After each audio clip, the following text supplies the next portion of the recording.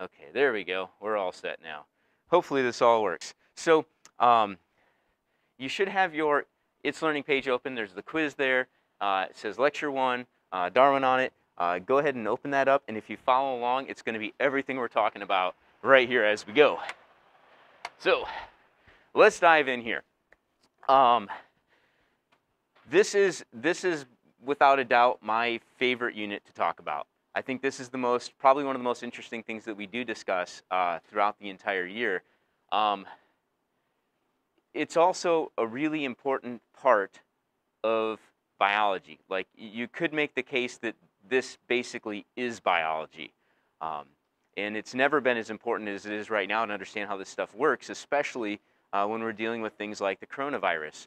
So uh, we're going to talk a little bit about this stuff uh, kind of as we go. Uh, and I know when I put the word evolution up there, like uh, sometimes folks get a little bit like, oh, geez, are we going to talk about this, you know? Um, yes, this is an, a very essential part of biology. It's a very essential part of science. Um, but I, I, will say this to you, uh, at, at no point that I'm talking to you throughout this entire unit will I ask you to question your beliefs or tell you you have to believe something other than what you personally believe. But this is a science class, and we will talk about science, and this very much definitely is science. This, like I just said, this is essentially this is biology. Um, if you take a biology course and they don't talk to you about evolutionary theory, uh, I don't know what you just studied, but you didn't study biology. There, there's no doubt. Um, you can, yeah, go ahead and ask any, any professor at any major university.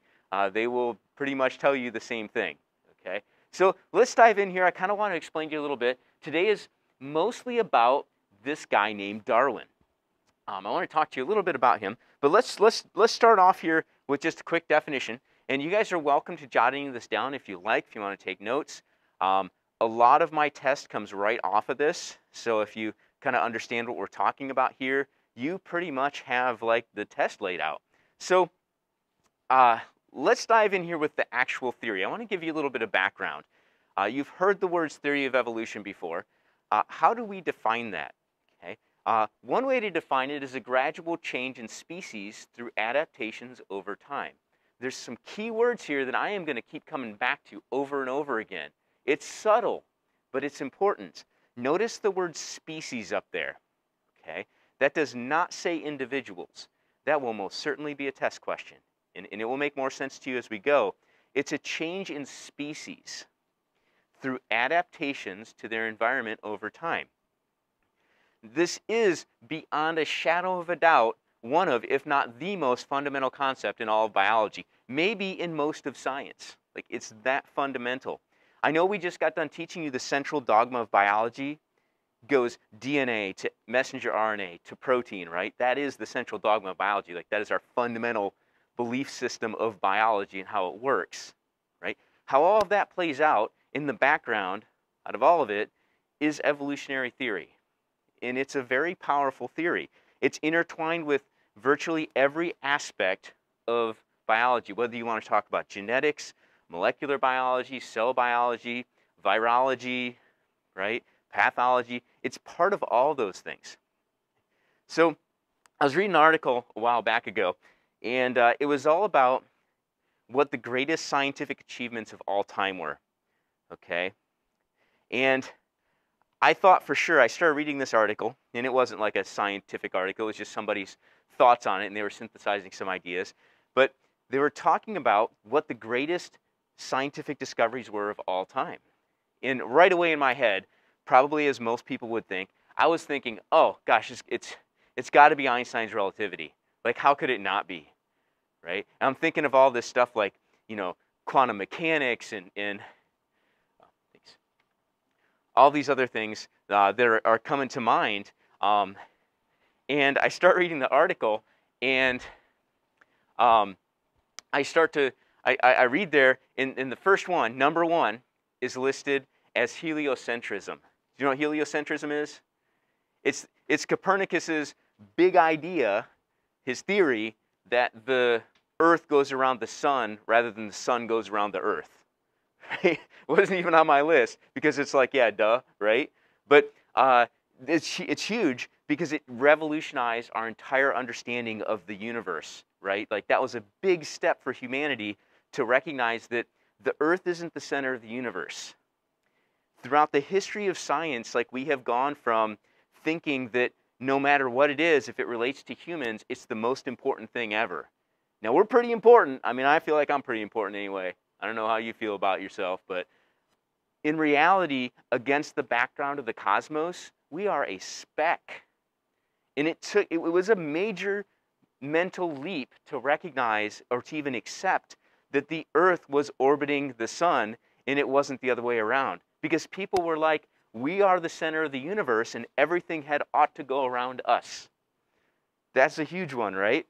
So I'm thinking, okay, well, Einstein's got to be number two. Nope. Number two on the list, number two on the list was actually Darwin's theory. And, and I was kind of shocked by that. I was like a little bit surprised. Um, and as I read it, the, the, explanation for why this, this individual was saying that, you know, the number two, probably most important discovery of all time was evolution, um, had to do with the fact that it's easy to understand and it has profound ramifications for how we understand life and understand biology and, and pretty much all the sciences. And, and it's true. When, when you put evolution or even Copernicus's theory up against something like special relativity or general relativity or thermodynamics, like the average person can kind of grab a piece of it and understand it a little bit. Okay?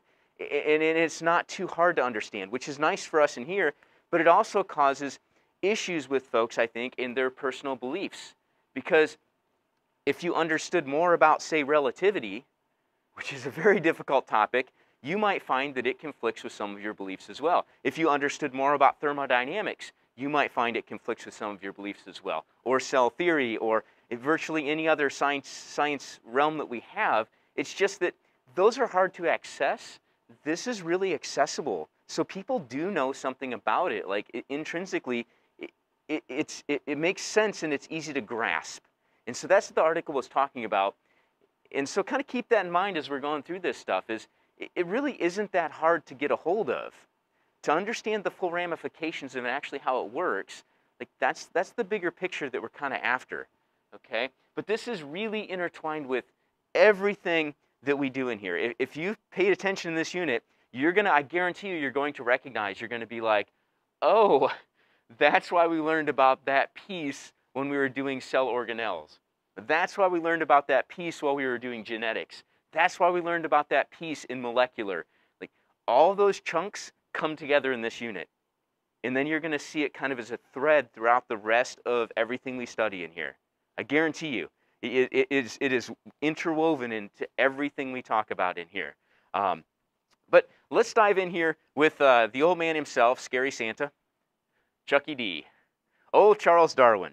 So he was born in 1809 actually on the same day as Abe Lincoln. So, dude's old, right? This theory is old. It's been around for a really long time. Yeah, he is kind of scary. He does look like kind of like a scary Santa, doesn't he? I guess that was all the all the style back then, you know, the big beard and sort of, I don't know. But his ideas, and, and this is who we attribute this to. So if you're answering the question on your on your quiz, his ideas formed the basis of our modern theory. Okay, we attribute it to Darwin. True, there were other people around at the time who had similar ideas. Darwin's the guy that put it all together. And, and what we're going to do today is we're going to try and walk through some of his thought process and where the ideas came from.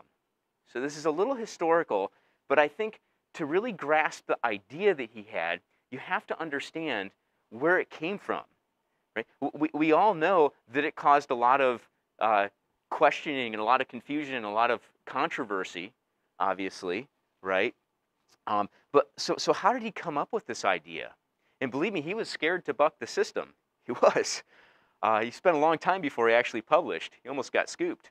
So uh, he proposed, what he proposed, and this is real simple, is that species, different species, you know what those are, originate through a process called natural selection. Okay? So his, his big idea, if you will, is this thing called natural selection. So forget about the whole idea of evolution and all this stuff because that word has connotations in your mind. and just think about this concept of nature selecting. Okay, that, that's really fundamentally where he came. Um, and guys, feel free to ask questions. Like, I love talking about this stuff. Ask me questions if you have any, please. Absolutely. So let's talk a little bit about Darwin's big voyage. Like, this is some famous historical fact here. In 1831, he was able to get on board as a naturalist on the HMS Beagle. That's the name of the boat. Okay, famous boat. He traveled around the world for five years. So I think, kind of in, in the history of Darwin, uh, he was he was a naturalist. He was a man after my own heart. I love nature. I, I absolutely love being outside. I love studying everything about birds and insects and rocks and fossils and basically everything in nature. Like that, that's my jam. I love that stuff. And so I can relate to Darwin.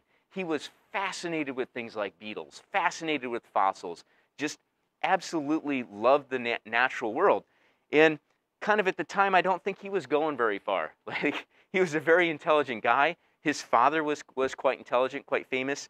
Um, he, he really was didn't have wasn't on track to do anything. And I think they kind of were like, "Hey, Darwin, this uh, this position's come up on this boat. Uh, they need a naturalist. They need somebody to document all the new and crazy and weird stuff they find on this giant voyage that they're going to go around the world." And they're like, "Why don't you get on there, Darwin, and kind of do something with yourself, you know?" And and he did. He jumped on board this boat. Uh, I don't think he was much of a seafarer. I think he struggled with it. Um, but he visited all these strange lands that nobody from England had ever seen before, right? Um, while he was there, he did things like researching the beetles and the finches, which are the birds that he saw, okay? Uh, as he left, let's just kind of trace out his, his route here. Uh, so he leaves England, here up here in Europe, and he, he travels down around the coast of South America, and these dots are the stops, okay? The Galapagos Islands is one of the most famous places he stops. But all along the way, he is talking to local native people. He's collecting fossils. He's collecting bird specimens. Like they were having a heck of a time out there. They'd go on land and they'd shoot birds. They'd bring them back to the boat and stuff them. Darwin would collect beetles. Darwin is so obsessed with beetles, it's, it's, it's, almost, it's, it's almost bizarre. Okay, I, I can understand this. Darwin loved beetles so much that Darwin was once said to have been next to a tree and saw a beetle on it and it was a beetle that he hadn't seen before and was very excited about. Well, he had already picked up a beetle in one hand. This is before plastic bags, right? Picked up a beetle in the other hand. So both hands were full with beetles. But he's got this new beetle that's on this tree that he really, oh, he really wants this beetle because he wants to take it back and study it and understand it and catalog it. And so what does Darwin do? Well, he pops one beetle in his mouth and grabs it with his other hand. So now he's got all three beetles and heads back. So, like, that's how dedicated this guy was to studying nature. Like, can you imagine popping a beetle in your mouth? Ooh, right? right? When I was a kid, I loved snakes. I absolutely, I still love snakes. I would spend days outside hunting snakes. I would just go out in the woods and I would flip over every board and every rock until I found every snake in the woods that I could find. And a lot of times I didn't have a bag. So, what would turn out would be that if I happened to be wearing a long sleeve shirt, I would tuck it in to my waist, and I would start dumping snakes down my shirt. So that when I got home and got off my bicycle and started walking in the house, my mom would freak out. Like, I kid you not. Like, she would lose her mind because I would be standing there and snakes would be crawling out my neck. They'd be crawling out my arms. They'd be going down my pant legs. And I'd be screaming at my mom, Mom, Mom, get my aquarium. I've got snakes. my mom put up with an awful lot, let me tell you what. And I only ever lost a few in the house. She doesn't know about that though. So don't let her know that. But yeah, I mean like I understand Darwin. I understand that like he really liked nature because I was I'm there too. I, I, I love it too. I love exploring, understanding stuff. So he travels around the coast of South America. Okay, stops at these famous islands where he just learns some amazing things about the tortoises, about the finches there. Okay, and then heads back around. Look, he also stops in New Zealand, stops in Australia here, um, and then they head back around the coast of Africa and then back home to Europe.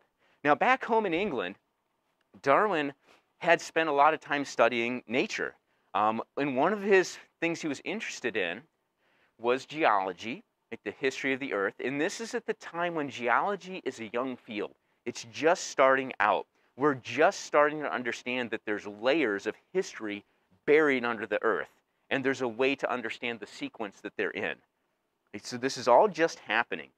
Um, things we take for granted. He's also really interested in the selective breeding of plants and animals. He wants to know why people can breed certain pigeons together and get some really weird looking pigeon. He's interested in that. He wants to know why, you, why people, breeders around, are breeding certain dogs together and basically creating a really weird looking dog. And because that's what people are doing. People are still doing that today, right? And so all these thoughts are rambling around in Darwin's head while he's on board the Beagle. So one of the things, and I want to take you through some of the things that Darwin actually saw and noticed. And this is the first one. He noticed that distantly related species sometimes develop similarities if the environment was the same. Now, let me tell you about these birds here. Everybody recognizes these are birds. The ostrich in Africa, the rhea in South America, and the emu in Australia. Okay, he, he sees some of these birds. And he recognizes that they can't be descended from each other. In other words, they're not closely related. If you're working on the quiz there, they're not closely related. In other words, these things, none of these birds can fly. They're huge. They look like dinosaurs. They're all descended from other ancestors on this, on their specific continent that used to be able to fly. Now you look at these three birds together, and if you're thinking in terms of evolution, in your mind, you're already probably going, well, those guys must share some common ancestry. Like they must be related. They're not.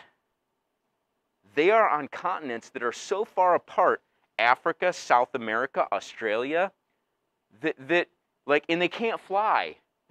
so an emu didn't swim to South America or an ostrich didn't swim to Australia, right? So in his mind, he's going, how do you get something that looks so similar on a totally different landmass? Like, how the heck does that happen? And, and now we know it's a process called convergent evolution, where they converge on similar characteristics, even though they, they, they are not closely related.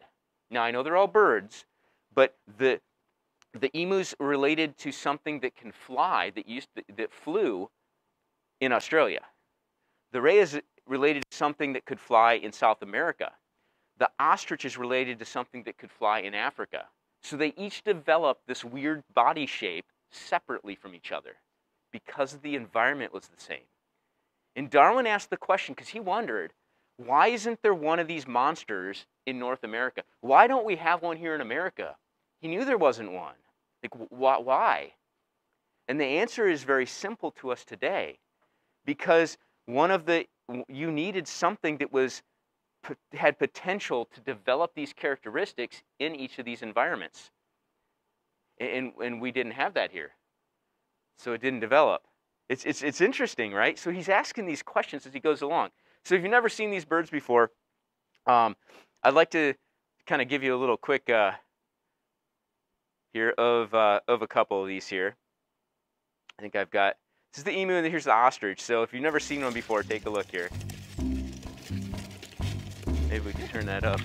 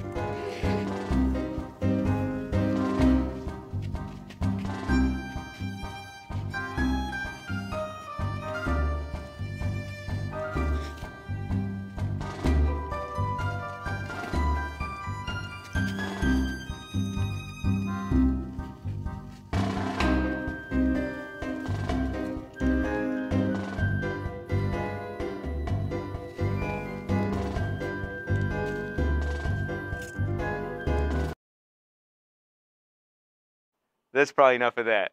Anyway, what I hope you see there is just how similar those birds look. It's astounding that they're not related. It should be shocking. It shocked Darwin because he recognized there's no way they could be related. Now let's look at another piece of evidence, another piece of information that Darwin picked up on his journey. So he's on the Galapagos Islands, and it's famous. The tortoises there are absolutely famous. Okay, these humongous tortoises live on each of these islands. And what Darwin noticed in this location was that the reverse could happen as well. You could have a bunch of very closely related species that look different. So this is the reverse scenario. These things are all related to a common ancestor. They are closely related, the tortoises here, and look at how different their shells look. They're, and at first he didn't know, he didn't catch this, but he was collecting these things. They were eating them actually on board the boat. you think about it, they're sailing around the world. You got to eat something, so tortoise is as good as anything else. Uh, but they're saving the shells because they're just so astounded at how big these giant tortoises are. They've never seen anything like this. And he's got these shells on the boat, and he gets to talking to some of the natives that live on these islands, and he realizes that they can tell him which island the shell came from just by looking at the shell. They already they knew. They're like, oh yeah, that that came from uh, James Island or whatever. And he was kind of shocked by that. And that's when he's kind of started to look into the fact that, you know, all these different tortoises must be related to a common ancestor. So they diverged from some similar looking thing and became different because their environments were slightly different. What they were eating on the islands was slightly different. Um, and so, how did they get between the islands? Probably on log rafts and things like that during storms, is probably how that actually happened. But he recognized that these are closely related species that became slightly different because their environments were different. You see the two different things there? So divergent evolution versus convergent, which we'll come back to later on. Okay. Another thing that Darwin found was the glyptodont. Now this is one heck of a creature here, right? In, in South America, he found this fossil. The native peoples actually showed it to him. And Darwin recognized immediately that this looked just like something else he knew about. Do you see the resemblance to the armadillo? Like, it's shocking. Like, that is basically a gigantic, like, scary, oversized armadillo, is what that is. The difference is the glyptodont's extinct. It doesn't exist anymore. It didn't exist in Darwin's day, it doesn't exist now. He just found the fossils. Okay? So, he noticed some fossils of extinct animals were similar to living species. Do you see how Darwin's thinking is kind of rolling now? One of the things, and I'll tell you this because we probably won't have much time to really get into it, evolutionary change, like, like as organisms change through time, one of the things that is very easily changed because of the way genetics works, it happens to be size. So a lot of other characteristics of an organism may not change much, but sometimes size can be a very big, very quick changing factor characteristic about a population. And for the glyptodont, like it's, it's pretty shocking. Um, later on, we're going to look at things like horses. Oh my goodness, horses have changed dramatically in geological time. The most ancient horse fossils we have are about the size of a dog. Like imagine a mini horse. Be so cute, right?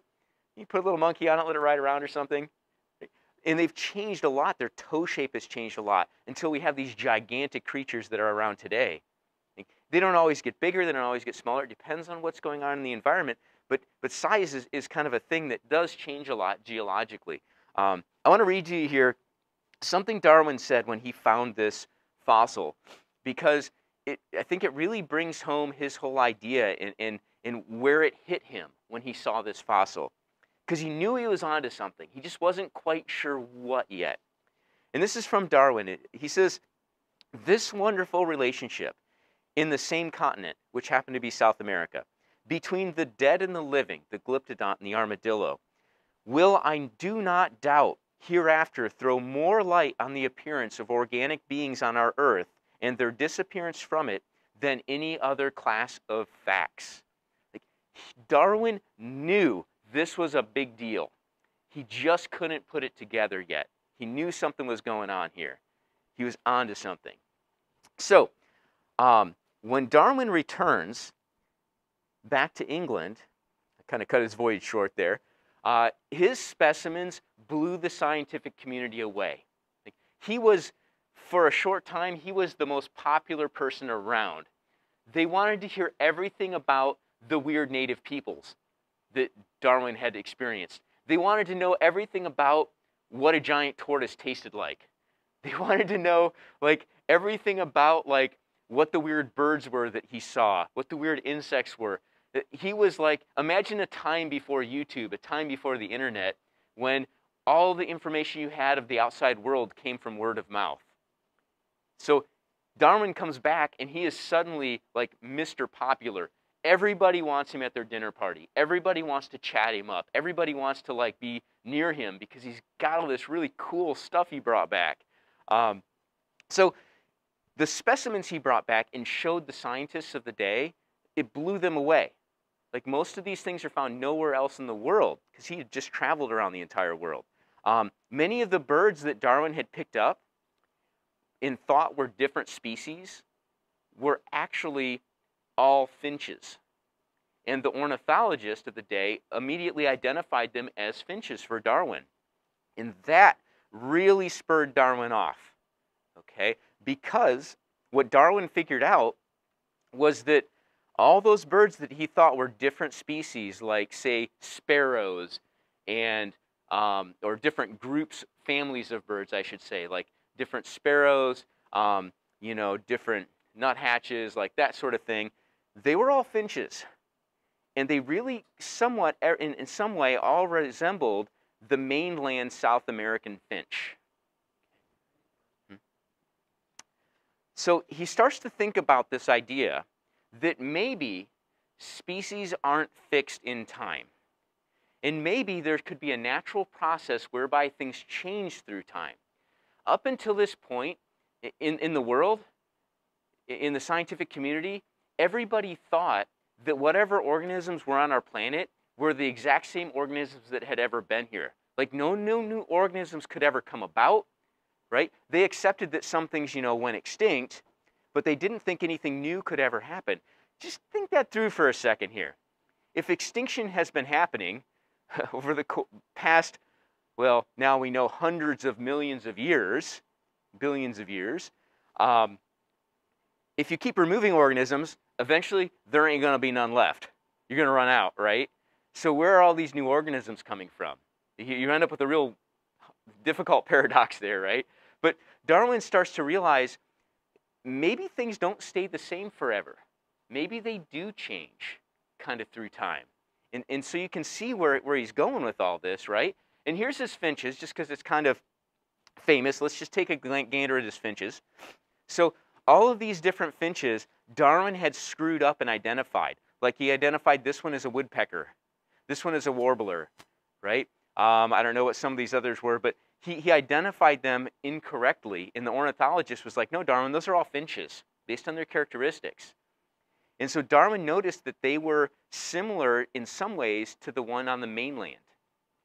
And if you looked at the individual birds, and the islands that they happen to live on, you get this really beautiful picture of what we call adaptive radiation, where a bird from the mainland species lands and colonizes individual islands, but the food sources on the islands are so different that over time the bird adapts to that and, and the species changes so that their beaks are real weird. Like the woodpecker, it's got a beak for pecking here.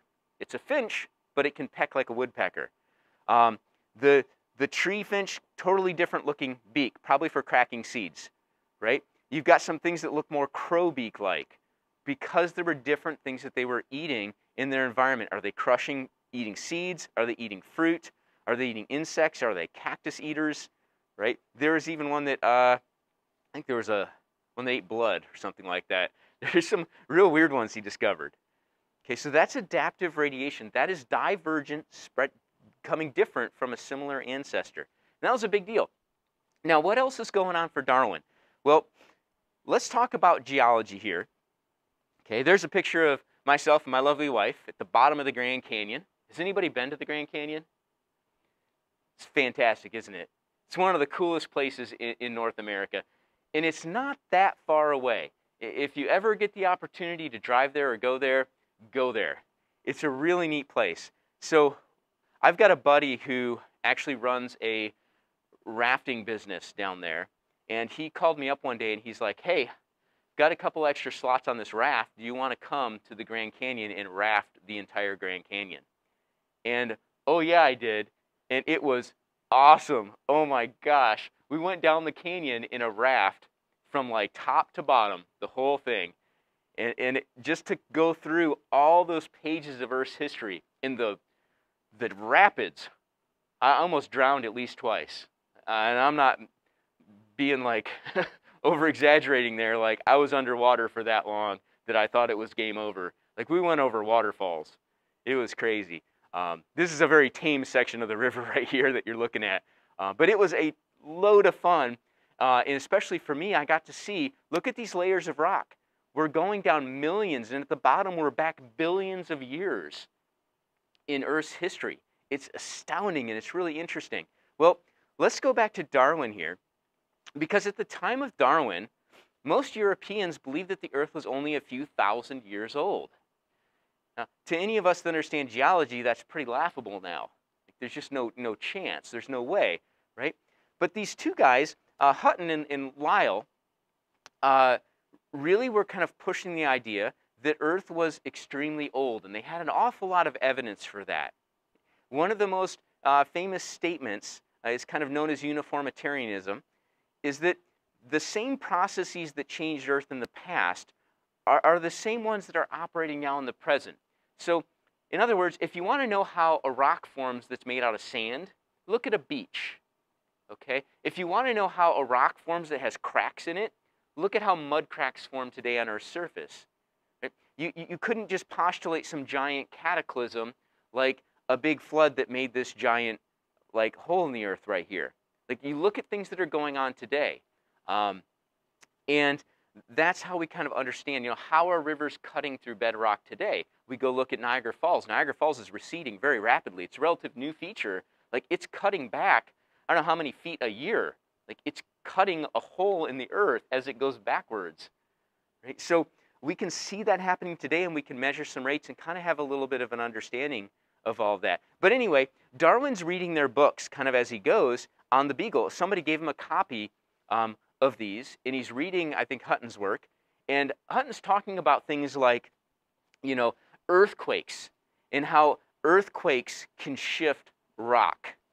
Like nobody had thought about this stuff. Now, today we understand earthquakes really well, right?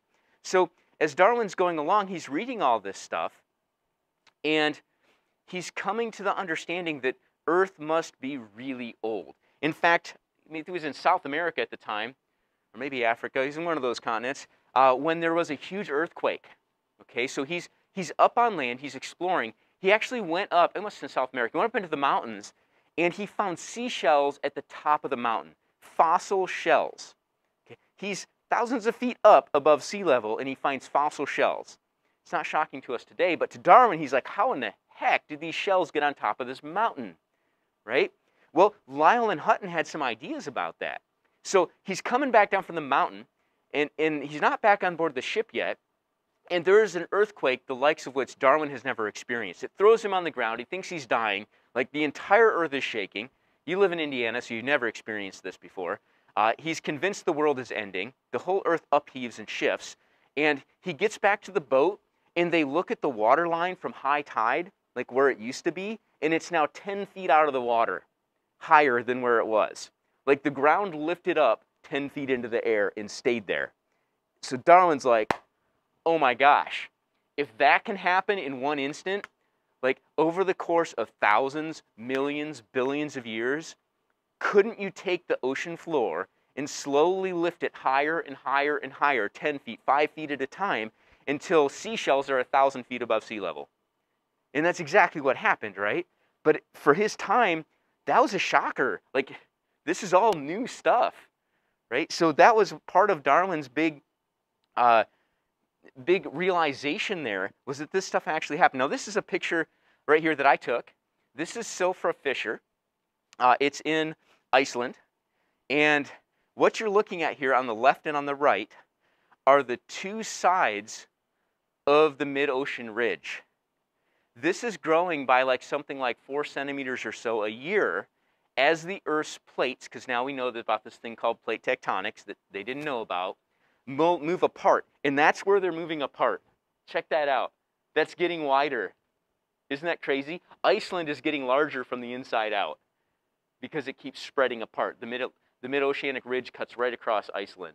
So I went here and I actually had the opportunity to swim in that water, and that's what it looks like underneath there. That's a dry suit. It is so cold because that water's running right off of a glacier and filling that up. It's, it was freezing cold. My face was beet red after being in that thing. But that is a dry suit that I'm in. It was really awesome to swim in the crack between the plates. Think about that, right? But that's what Darwin experienced. So there were some other folks at the time. Um, and I want to kind of introduce you to one of the ideas, just because people still get hung up on this today and they still get confused by it. And this is the guy, a guy by the name of Lamarck. Okay, this is wrong. Okay, don't think this is right. I only want to mention him because I still hear today people spouting this hypothesis. Lamarck was wrong. He was on the right track, he just didn't get it right. That happens in science. So Lamarck's idea was that organisms could change during their lifetimes by using parts of their bodies. And so they'd acquire these traits and they'd pass them on to their offspring. Wrong, Lamarck. He also thought of this idea of this ladder of evolution. So let me kind of explain that to you. His idea was, how did the giraffe get the long neck? He thought that the mechanism for that was that giraffes just kept reaching for higher and higher leaves. And their necks stretched because they kept reaching, it stretched their neck out, right? Seems to kind of make sense. And then when they reproduced, their babies got to have just a little bit longer necks. So he was, he was kind of on the right track, but he was dead wrong. Today, in, with Darwin's theory, we understand that an individual, an individual organism like an individual giraffe, cannot evolve. You could stand on top of a building your whole life and flap your arms and think that you'll evolve flight, and you ain't gonna fly, right? You know that. So a giraffe can stand there and stretch its neck all it wants, it ain't gonna get any longer. In fact, you could work out your whole life and get big, huge, strong muscles, okay? Have some children. Your children don't just get big, huge, strong muscles, do they?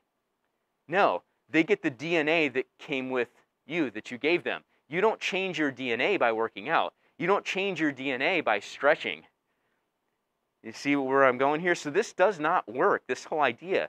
So how does it change over time? We'll, we'll get to that, but it has more to do with variations that are already there. There are some genetic differences. There are some giraffes that already have slightly longer necks. Why? Sexual reproduction, the mixing of the genes, right? There are some I don't know, organisms that already have a little bit more of something than their peers. And if they reproduce, they'll pass that on. So this doesn't happen like this, okay? This is, this is incorrect. And I just want to point that out because a lot of folks get confused by that. Lamarck was wrong.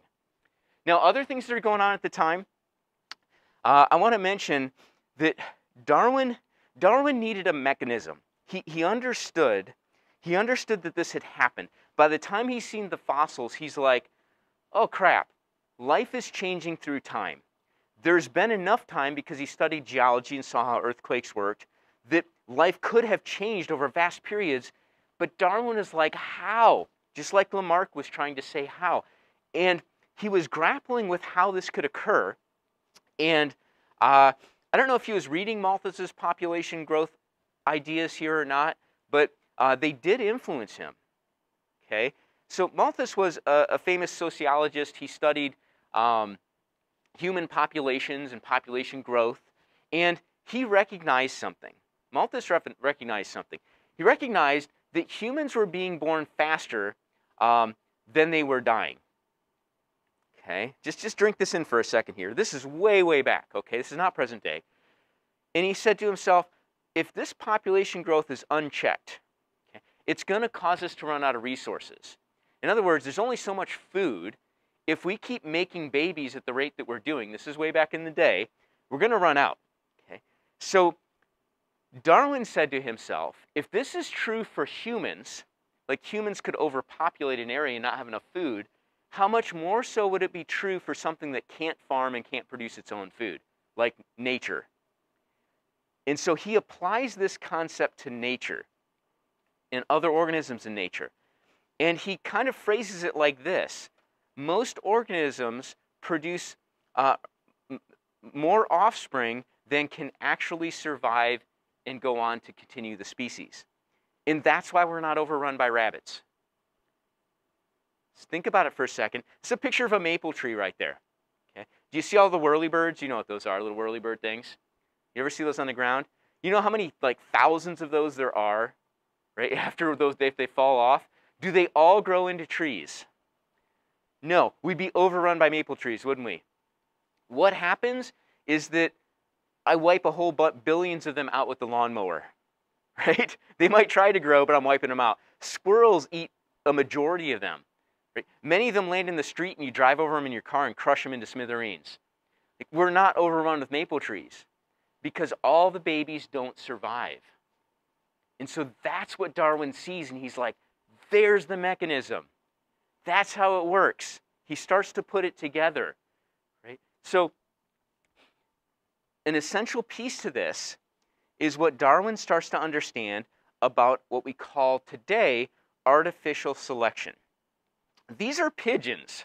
Now take a look at these pigeons here for a second. Like these are some seriously ugly pigeons. Like some of those, I, like I don't even understand. Like that one on the top right there. Like what in the world is that weird looking thing? Well, back in Darwin's day, and even today, people were all about breeding pigeons. Like you might collect Pokemon today, like back in the day, they collected pigeons. So they bred these pigeons, and what they did was they said, okay, the, the pigeon breeders would be like, hey, this one's got a really like weird looking leg. What if I breed it with that one over there that's got this weird looking head? They, they took the runts, they took the weirdos from the group and bred them together to make something even weirder. So people did this. Like none of those is a native pigeon. We made those, right? They were making them in Darwin's day. Um, and so Darwin studied this stuff and came to recognize that organisms naturally have variations. There's differences. There are some pigeons born in a clutch of pigeons where some of them will have different colors variations. Some of them will have different leg variations, different beak variations, and it could be subtle. But, an in, but a breeder could select for those. Could always grab the one with the longer beak, with the bigger neck feathers, bigger neck feathers. Always breed it with another one with bigger neck feathers and over a long enough time create, sculpt this weird looking critter, right? So those variations get passed down to the babies. Darwin's got his mechanism. Okay, here's another example of artificial selection that you'll recognize. I want to show you a couple of these. Do you know that modern corn was not always this way? Modern corn comes from a plant called teosinte. The Native Americans made it. We, we, unless you're Native American, you didn't have a role in this. The Native Americans made corn. How did they do it? Look at this little, this crappy little thing right here that they were eating. It is a tiny little kernel-y looking thing. They took that and they bred bigger ones and bigger ones together always. They always planted the seeds from the bigger ones. They ate all the other seeds. They planted the seeds from the bigger ones, the juicier ones, the tastier ones. And over kind of a short amount of time, they made something that we call primitive maize. So that's about somewhere around like in about two to 4,000 year ago range is when this actually developed. How do we know this? It's still around today. You can go to the desert and find teosinte. You can find where they grew it, where this actually happened. And today we've got modern corn. And we're pushing it further because now we genetically engineer our corn. However you feel about that, uh, we have pushed modern corn pretty far. Now it's big and huge and juicy and tasty and sweet and yummy right? Very different from its ancient relatives. But we did that. We artificially selected for it. But humans were picking the variations that already were there. Did humans put that variation in there? No. Some kernels were just bigger. And humans were like, yeah, give me that. Do you see it? Nature had the variations already. This is artificial selection. Here's one you do know about for sure. Okay, Anybody have one of these weird dogs? Who's got a strange dog? Any Pomeranians? No? Any wiener dogs? Uh, I, I still trying to figure out the wiener dog. That is the weirdest looking thing ever. Like, what is the purpose of that thing? I had a Pomeranian grow, growing up. It was a big fluff ball. I used to try and take it out in the woods with me sometimes. It was not suited for walking in the woods. Invariably, I would end up carrying my dog through the wilderness because my dog couldn't keep up. It's a dog. All modern dogs are descended from the wolf. Your dog has ancestry tracing back to the wolf. You might know that. So, why is it not a wolf? Because people purposely bred dogs together, wolf together, wolf against wolf, and to select certain traits. What traits do you think people were selecting for? Friendliness, most of the time, because they didn't want to get eaten. Obedience, right? Those are characteristics they could select for. And they did. So now we have modern dogs that look really weird because now we're selecting for things like, I want one that looks like a foofball. So we make a Pomeranian. Right? And people are still doing this stuff. It's, cr- it's crazy. It's really neat. But these are how all the dog breeds were created. This happened uh, in a very short amount of time. Humans can modify nature quickly through artificial selection. Okay, that's artificial selection. Now, the takeaway from this, one of the big takeaways today, is variation. Okay?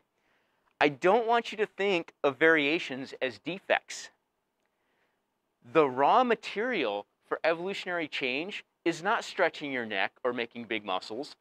It's variations that are already there in nature. So look at these snails. Those are all the same species of Cuban tree snails. Look at how many different colors there are. If for some reason there was an environmental factor that made it better to be red than yellow, guess what? You would suddenly start seeing more red ones than yellow ones. And maybe there would no longer be any yellow ones at some point. So nature provides this raw material for us. It happens because of genetics that we'll study, talk about a little bit later on. It's already there. And I know you look around and you think, uh, has anybody seen like two squirrels before? And you think, those two squirrels look identical. Like there's no way you can tell them apart. Right? Believe me, there is a tremendous amount of genetic variation there. Like rabbits, rabbits have crazy genetic variation. Like on the surface to us humans, it doesn't look like anyone is that different. I guarantee you that a rabbit probably looks at humans and thinks we all look the same. if rabbits thought like that. They probably look at us and think we're all identical, like there's nothing different about any of us. But we notice all these little differences about ourselves, right?